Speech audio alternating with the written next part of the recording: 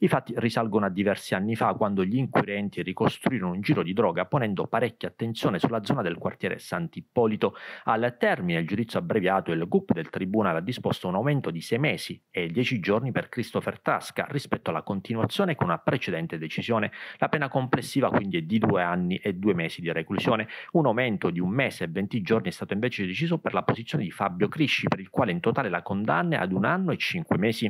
Per Tasca è stata emessa l'assoluzione su un capo di imputazione, anche la prescrizione ha inciso facendo venire meno alcune contestazioni sia per lo stesso Tasca che per Crisci.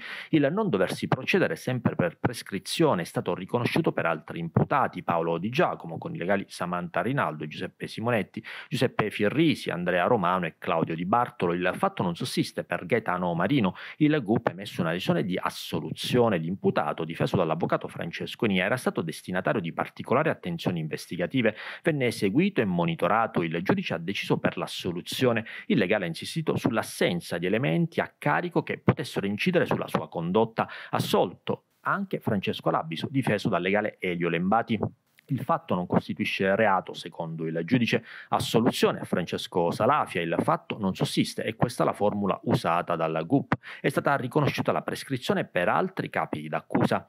Cadono le contestazioni infine per Calogero Minardi con il legale Ivan Bellanti, la soluzione nel merito e con la formula perché il fatto non sussiste, mentre il GUP ha accertato la prescrizione di altri fatti e l'assenza della condizione di procedibilità per ulteriori capi.